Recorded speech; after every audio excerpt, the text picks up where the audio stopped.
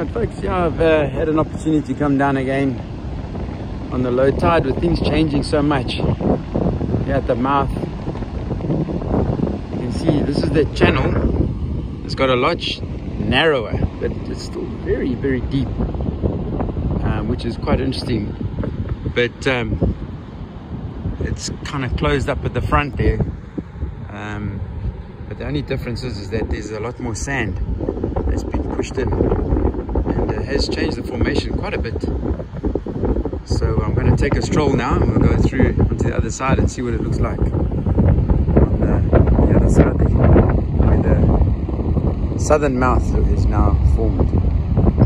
Okay, so this is that channel that I showed. It's, it's a lot narrower now, but it's really deep. Obviously we're on the low tide, and if I scan around like this, you'll see that it actually is now dry in the front here. The last video I did, we weren't able to walk across this because there was water here.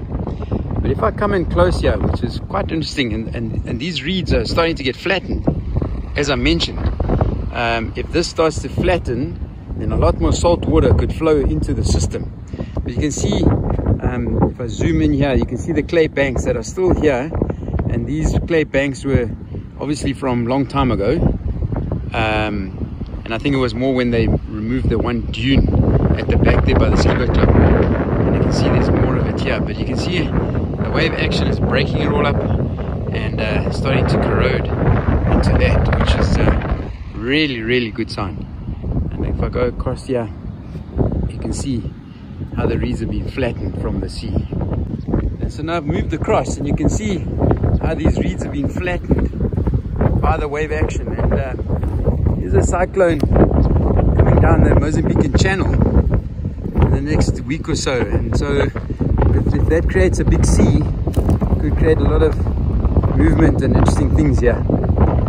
So uh, yeah, I mean, this is this, the reeds that I mentioned before, where the one day I actually had to use a hippo path to get through, to come through to the other side here. But it's uh, completely flat. And what's nice about this is that the sea is actually very small. Um, so uh, it's obviously just tidal action that's done this. Maybe I'll come down on the high tide this afternoon, have another look what it looks like on the high tide. What I'm trying to do now, I'm trying to work out roughly the video that I did in the last year. I think the reeds, these little stubbles that you see here,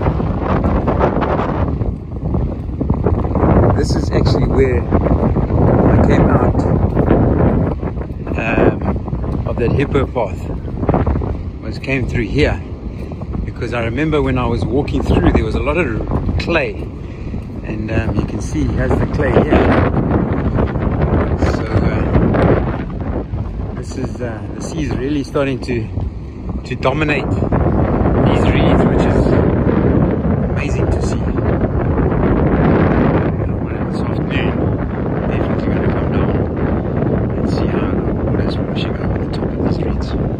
scan around So it's going to go quickly, but if I scan around and I come to this side, in other words the southern side, go to that bank.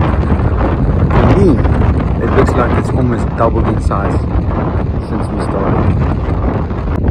Okay, so now I've got to the pinnacle here on the northern bank. And again, we look at the clay here. The, the beach sand has been removed and uh, the clay stayed behind. And uh, it's quite deep. I'll go across to there you can see. But uh, the key thing is it's been broken up and and removed which is great to see. And so a lot of the beach sand that was up on the top here um, from the past has also now moved away.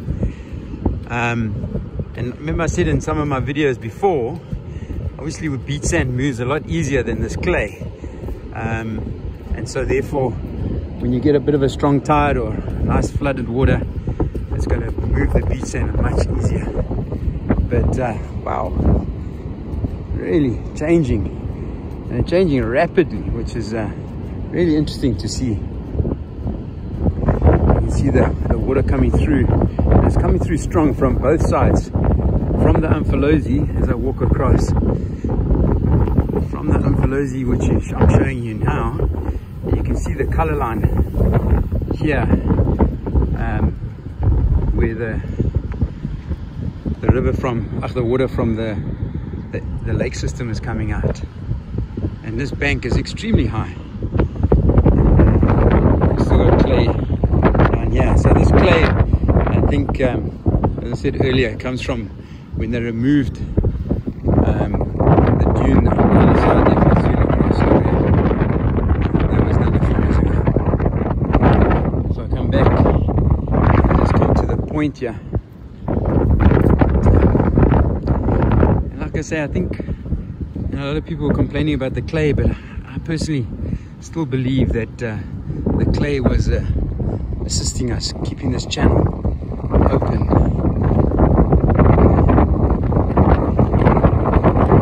But, uh, the sand over there.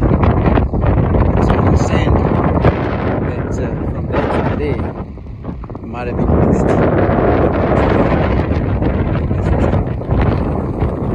Yeah, really nice. They say uh, hopefully come down this afternoon on a high tide if you're looking yourself It's nice to see the, the color line here. You can see the difference, the, the water coming from the lake system and the one coming out of the Umfolozi. So here on the boardwalk, the water's pushing in extremely strong. I haven't seen this for a long time, that it's pushing like this.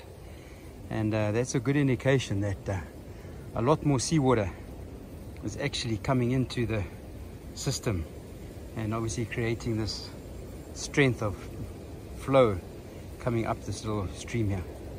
Very good to see.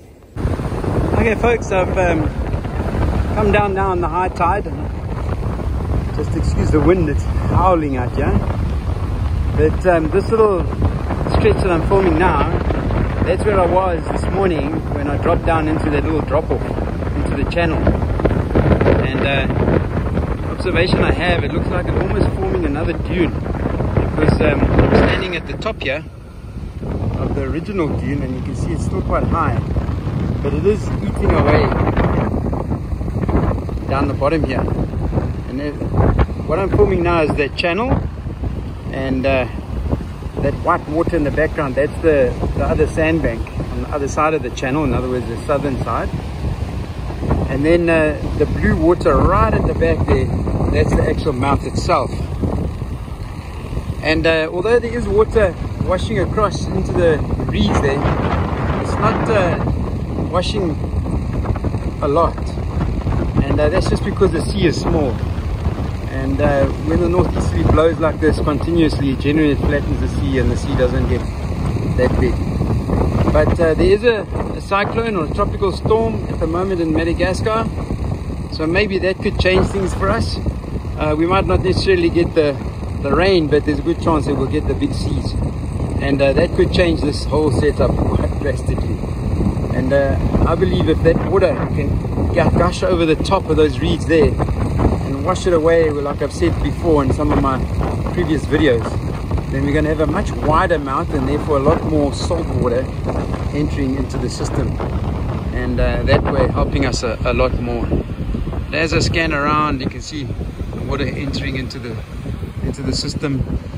And uh, to me if I go right around it looks like they've moved the, my marker the pole northwards again probably with another 100 meters um, again a good indication that uh, this dune that I'm standing on right now is being eaten away and eaten away. And so they keep moving the, that pole but yeah a little bit disappointing. I was hoping to see a lot more wave action into those reeds but uh, still really nice to see.